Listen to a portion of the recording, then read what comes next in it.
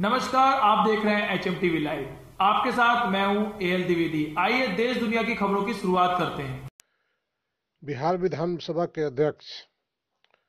माननीय श्री विजय कुमार चौधरी जी के कार्यालय पर उनके कर कमलों से चंपारण सत्याग्रह शताब्दी वर्ष पर प्रकाशित स्मारिका चंपारण सत्याग्रह के सौ साल का विमोचन किया गया,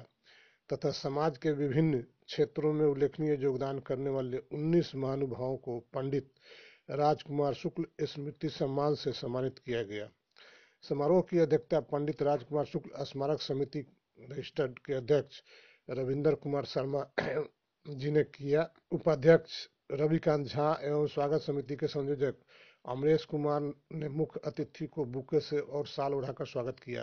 तथा संचालन समिति के संयोजक शंभु शरण शुक्ला ने धन्यवाद ज्ञापित किया। पंडित राजकुमार शुक्ल स्मृति सम्मान 2019 से सम्मानित किए गए महानुभावों की सूची निम्नवत है। किसानों के लिए समर्पित श्री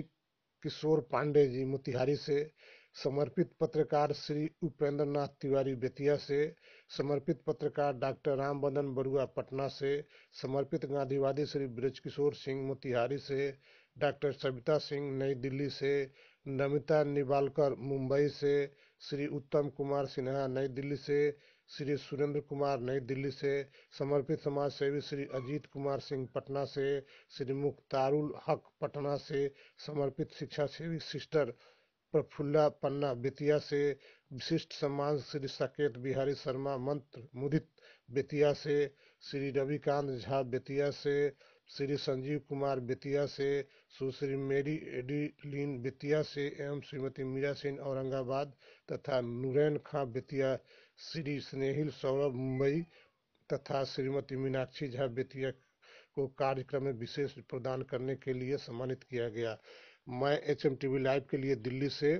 बेतिया से रविंदर शर्मा की रिपोर्ट के साथ लाल बिहारी लाल।